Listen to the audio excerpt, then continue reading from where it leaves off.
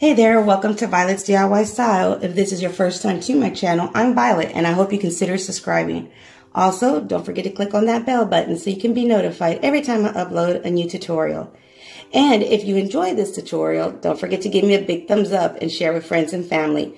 So today I'm going to share with you how I made this adorable Easter centerpiece for your coffee table or even your dining room table, as well as an alternative for an Easter basket, which is going to be a letter basket.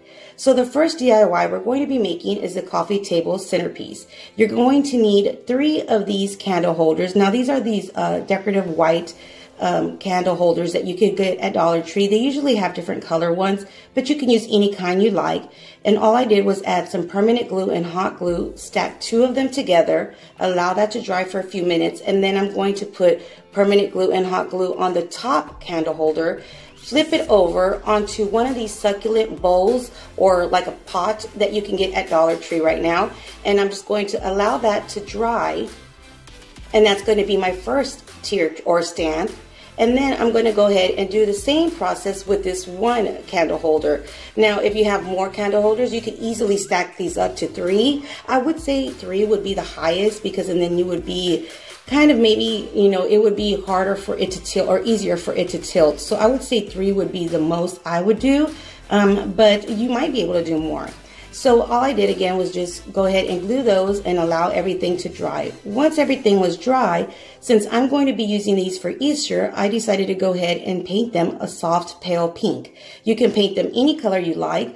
And the good thing, um, or what I'm thinking about doing, if I don't keep these for Easter for next year, I might just go ahead and spray paint these maybe a silver to use them all year round. So that's another um, good thing about doing different DIYs, especially when you do kind of these kind of trays and stuff like that, because you can easily just change them up by spray painting them or painting them again to make them a different style or, you know, give them a different look. So that's something to keep in mind when you do uh, any kind of tray, especially if you want to use this like for a coffee table centerpiece or something like that. So again, for Easter, I just decided to go ahead and paint it this really pretty pink color. And it's a very soft, pale pink, not a blush, but it's almost that color. So I just gave it one really good coat. Then I'm just going to go ahead and set this one aside and let it dry before I give it the second coat. Now, when you do um, use paint to paint any kind of project that you are doing, or at least what I do, is I tend to have the a clear coat spray paint on hand and I always try to spray paint it with that clear coat just to give it that protection so my paint won't chip off or anything like that. Um, but if you are going to use these for food, I would highly recommend you add a doily or something like that um, on top of your tray before you put your food on top of it. So just go ahead and repeat the process with your second tray by adding that first coat of paint and then allowing them both to dry before you give them that good second coat. Now, I did paint the interior of it um, simply because you'll see that there's like a circle where you can see that I glued it together right there. But if that doesn't bother you, you can leave it as is and then you can just put chips and dip in here um, and just give it a good wash because it would be cleared.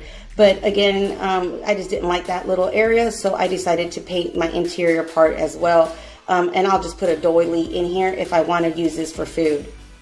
So just go ahead and allow it to dry. And then this is the way it looks once it's all painted two times, which is a really, really pretty pale pink. So this is the way I'm going to be decorating mine. I'm going to make them very simple this year for one, the lowest one, I'm just going to add a whole bunch of Easter eggs in there, not even put moss or grass or anything like that. I just wanted to keep it really simple. The second one, I'm going to use two stems of these pale pinks, one of the uh, brighter pink rose, and then one stem of the other pink. So I just got a few different color pinks, and I'm just going to go ahead and layer them. So what I did was I just layered my first rose all around the rim of my tray by adding a candle in the center as well. And these are just the clear glass candle holders or candles that you can get from Dollar Tree. And I'm just kind of wrapping those roses around there. So once I was done with the first layer, I went ahead and just grabbed my second rose, which is this really soft pink color as well. Um, and I'm just kind of making a certain pattern, just trying to figure out how to put them on here. And then I'm going to turn on my candle and that's basically it. So it was really easy to make and I think this makes such a high impact because since there's two of them, it looks really pretty together. So uh, for our second DIY, what I'm going to do is this popular letter basket or gift box that you can make. And I've made these before, showing you how to make them for bridal showers and even a baby shower as well. But I'm going to show you again, just to make one for Easter, because I've seen these on TikTok and Pinterest, and they're so popular. So I just decided to go ahead and make one just to share with you again, how to make this letter basket. So all you're going to do is just print out or even hand draw the letter that you're um, needing. So it can be an initial or whatever you want to make that letter from. And then you're just going to go ahead and cut it out. And I'm just using a poster board, or I'm sorry, this is the project board box that I'm using. And I'm just scoring it and going to go ahead and cut out the letter T. Now, if you're going to put something a lot heavier in here, um, besides candy or maybe even a little gift card or something like that, I would recommend you double it up and stack two of these Ts together, cut out two of them, and then glue them together so it can just be a harder uh, bottom for your basket. So after I did that and cut out just the one T, I went ahead and just folded that same printout of the T to get my edges. So here I am just cutting the top part and then I just folded the bottom part of my T and I'm going to do the same thing. And I, I did about three or four rows, um, not knowing how much, uh, how much I was going to need of these rows. So basically uh, they're about a half an inch in thickness uh, to an inch. So all I did again was just trace out four to three of these little rows of these um, pieces of cardboard that I'm going to cut out to make my lining of my T or the edges, uh, you could say.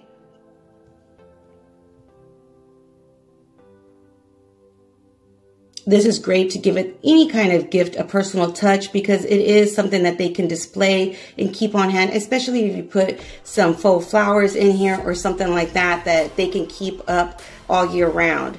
So once you're done cutting out all of your little strips that you're going to glue around your T or whatever letter you're using, all I did to score it and kind of wrap it or roll it around to make it more flexible, my cardboard, I just grabbed a permanent marker and basically just rolled it around just to give it that little arch and softness of all these little cardboard pieces in order for me to wrap it around my letter. And everybody does this differently, but this is just the easiest way I found to do it for myself.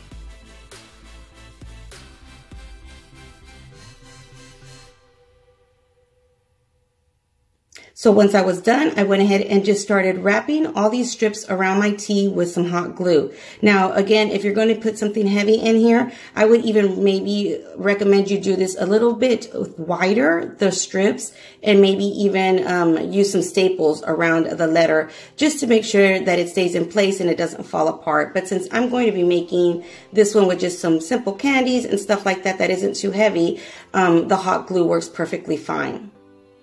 So just go ahead and start wrapping all of your little strips around your letter and just hold it in place, making sure all the glue and everything dries. Since it is cardboard, it dries pretty quickly. So just go ahead and hold it for a few seconds.